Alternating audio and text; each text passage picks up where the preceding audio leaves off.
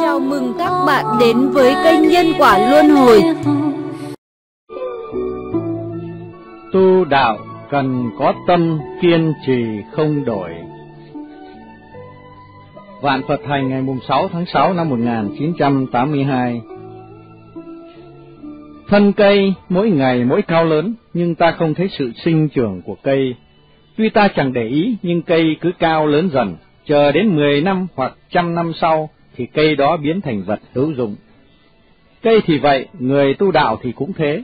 Đừng quá gấp gáp, đừng nghĩ rằng hôm nay tu hành thì ngày mai khai ngộ.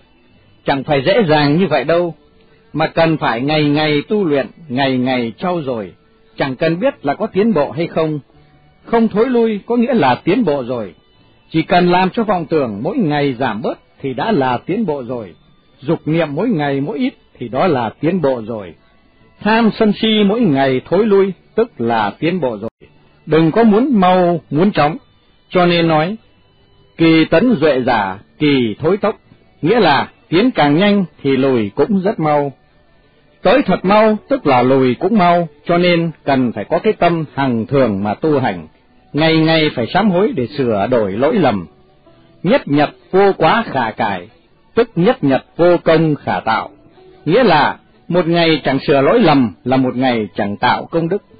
Cho nên tu hành cần phải trừ bỏ tập khí, lỗi lầm xấu xa, bỏ đi những tư tưởng lầm lạc khiến cho trí huệ quang minh bản hữu của mình mới xuất hiện. Trí huệ quang minh này người nào cũng có cả, nhưng rất tiếc là bị vô minh che khuất. Khi không thể dùng trí huệ quang minh này bởi vô minh che phủ, sẽ làm cho mình cứ muốn chụt xuống, không muốn đi lên. Nếu hiển lộ được trí huệ thì tự nhiên mình sẽ tiến tới, đi lên mãi. Đó gọi là nghịch lưu, tức là đi ngược dòng nước. Cho nên, tu hành không phải chỉ có một ngày một đêm, mà cần phải hàng giờ, hàng phút, hàng ngày. Buổi sáng như vậy, buổi chiều cũng như vậy, năm này tháng nọ đều tu hành như vậy, hằng thường bất biến. Thời gian lâu rồi thì mình mới trưởng dưỡng được trí huệ bát nhã. Đừng nên một ngày nóng, mười ngày lạnh, một ngày tu, mười ngày nghỉ. Nếu như vậy thì chẳng thể thành tựu được. Phải như thân cây, mỗi ngày lớn lên một chút, ngày ngày đem lòng thành mà tu hành. Trong thời gian tu hành, nếu gặp những cảnh giới gì, dù ma chướng hay nghịch duyên hoặc thuận duyên, cũng phải thản nhiên, bình thản, thuận cảnh hay nghịch cảnh, mình đều phải tinh tấn, coi mọi sự vật đều như đang nói diệu pháp cho mình. Nếu hiểu được mọi vật đều thuyết pháp cho mình, mỗi diễn biến đều là bài pháp, thì sẽ biết được sự kỳ diệu mà ngôn ngữ không thể diễn tả được. Nếu hiểu được vậy thì sẽ biết được bản lai diện mục của chính mình, biết được con đường về nhà rồi đó.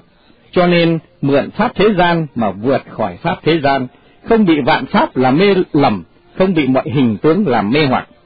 Lúc tất cả cảnh giới tới, nếu mình bình tĩnh sáng suốt, không bị chướng ngại, thì lâu ngày trí huệ của mình sẽ hiện ra. Nguyên nhân mà trí huệ không hiển lộ là do mình không chịu dẫn bước tới trước mà tu, chỉ muốn thụt lùi, gặp duyên lành thì lại nghi ngờ không quyết định, gặp phải duyên ác thì liền chạy theo, cho nên mãi mãi lưu lạc trong lục đạo luân hồi mà không cách gì siêu thoát được. Càng bị hãm vào thì càng dẫn sâu, càng dẫn sâu thì chân càng lún, kéo không ra nổi, cho nên nếu thấy thông suốt thì lại không buông bỏ được, cuối cùng không thể tự tại giải thoát được. Do đó, sinh rồi lại chết, chết rồi lại sinh, hồ đồ sinh ra, hồ đồ chết đi. Trong khoảng thời gian đó mình không biết làm gì, chỉ toàn là chuyện điên điên đảo đảo, tìm không ra cái lý do chính đáng. Các vị, cuộc sống con người nếu vậy là cuộc sống hồ đồ, chỉ toàn là vì danh, vì lợi, vì sự thành công của chính mình. Kỳ thật, việc người thế gian cho là thành công thì thánh hiền cho là thất bại. Cho nên, hễ con nợ nần thì phải giáng thanh toán cho phân minh. Mình phải là một người hoàn toàn sáng suốt. Khi sáng suốt thì phải vĩnh viễn sáng suốt, do đó mới phá được cửa sinh tử, ra khỏi vòng luân hồi. Như vậy mới là cung cách của bậc đại trượng phu.